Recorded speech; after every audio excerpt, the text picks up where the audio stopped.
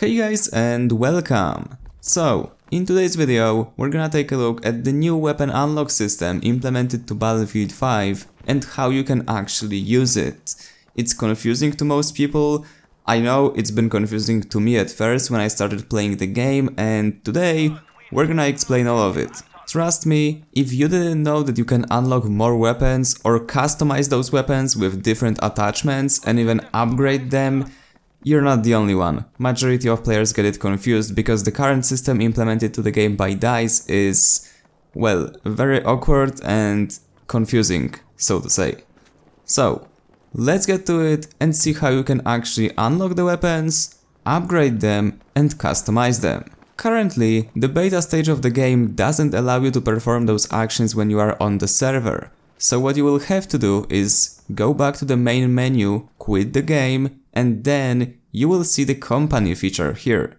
You click on it, and then you have tons of options. You've got a different icon for each class in the game, as well as different icon for each vehicle type in the game, and next to those icons, you can actually see the level, those numbers next to them, are the level at which your class is at currently. We're gonna need this information later, so just remember that you can always check it here. Next what you will do is go to either vehicle or certain class. So let's take a look at the assault class for example. Click on the icon and then go to the customize. Now you will see the screen showing your current combat role, which is Grenadier, the only one available in the beta, your primary weapon, which for me is currently the STG-44, the default carbine, sidearm, the Ruby, which is not the default, it's actually the next pistol available in the game, and we can also see the gadgets, but let's focus on the primary weapon for now. Click on it and you will get three different options. One called upgrades, second one called customization, and the third one called more weapons. Let's start with the third one, even though it's not really in the order, but whatever. Click on it and you will see weapons available to play with. For me, it is STG-44, the Gewehr and the M1A1 carbine, because I already unlocked those. Now, how do you unlock those? You have to reach a certain level of your class, in our case this is the assault class, for them to become available. But, here is the catch. Once those become available, you actually have to go to this menu and unlock them. They don't cost you anything in the beta, but they are not automatically unlocked. As you can see, in my case the Turner SMLE is still locked because I haven't reached level 10 of the Assault class yet, which in simple words means that I have to accumulate more points while playing the Assault class to get it to level 10 and then I will be able to unlock the Turner SMLE. The whole concept is fairly simple here, it's just that DICE decided to needlessly complicate it with weird menus and that's what makes it confusing. Alright, so now you know how to choose more weapons. What we will do now is go back, just press back or escape if you're on PC, and before we go further, make sure to look at the number in the orange circle. In my case, it says 6. This is the level of your individual weapon, which means that my STG-44 is at level 6 currently. Now let's check out the upgrades tab. You click on the upgrades and you can see a whole skill tree of upgrades that you can apply to your weapon. Now, in my case, I have already unlocked those by reaching a certain level on my weapon and then I purchased them using the grind currency that you can see in the right upper corner of the screen. Now, when you first get to this screen and you have level 0 on your weapon, you will first have to level up your weapon, not class, level up the weapon itself, then those will become available and then you can purchase them with the currency.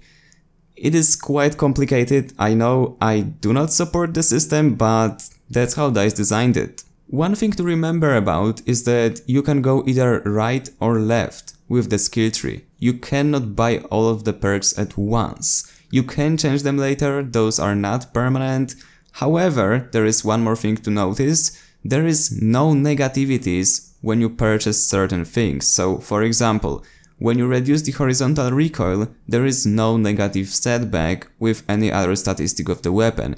Those are only upgrades and they are not like with the previous titles where Each attachment made something better, but at the same time made certain statistics worse. Alright, let's go back and check out the last tab called Customization. Click on it and you will see couple of different sections. You will have sights, muzzle, barrel, magazine receiver, rear grip and stock. Now, important thing to remember here. All of the things, except for the sights because you will have different sights options here, all of those things such as barrel, muzzle, magazine, all of them are only cosmetic. There is no difference when it comes to statistics and weapons performance. Those are only skins. There is nothing to customize here, except for the sights. If you go to the sights, you can pick different sights, but again, those are needlessly mixed up with the skins, so some will give you scopes, but some will just give you a different look. It's, again, a simply stupid system and I do not support the way it is currently designed, but whatever, that's how it is. Of course, again, if you want to unlock those cosmetics or different sights, you will have to pay for those using the grind currency, which in fact is the same currency used for the weapon upgrades, so I kindly recommend you go with the weapon upgrades first so that your weapon is actually better before you start buying shiny skins. Alright, one last thing I want to show you guys is how do you actually change gadgets in Battlefield 5. You go back to this screen and here you can customize everything. Click on the gadget, you will have different gadgets to replace it. Click on the grenade, you will have different types of grenades to pick. Click on the melee, you will have different melee weapon to choose.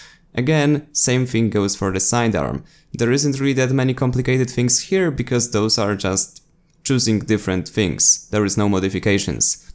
Anyway guys, that would be it for this short tutorial explaining all of the weapon unlocking and customization in Battlefield 5.